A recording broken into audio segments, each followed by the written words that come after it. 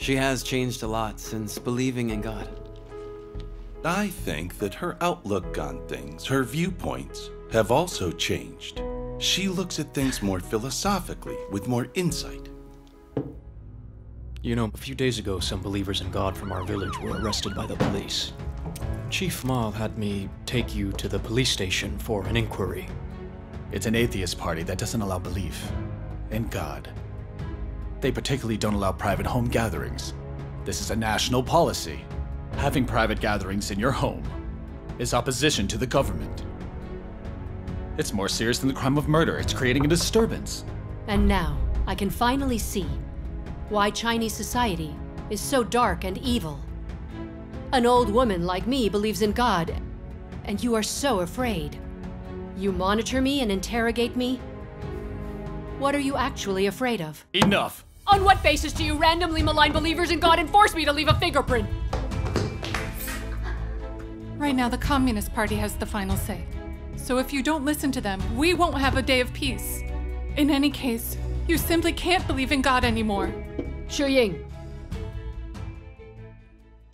In this life, I have had the great fortune to see God in the flesh come speak and work to save mankind. Whatever you say, I will not give up on believing in God. Dad, you must keep a close watch over her. And don't let her believe anymore. Oh God, I am in pain. I feel so helpless. I'm begging for you to help me, to guide me. Liu Zhen! Liu Zhen!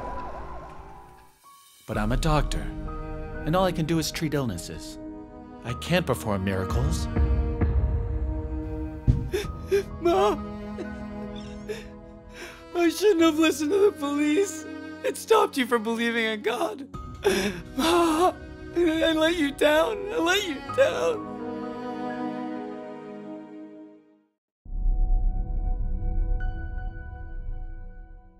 Well, during this illness, I saw some things clearly.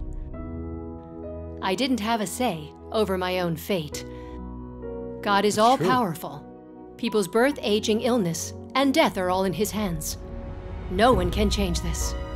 Liu Zhen, it is Almighty God who has given you a second life. I won't prevent you from believing in God, and I will believe with you. Let's spend our autumn years together happily. Thanks be to God.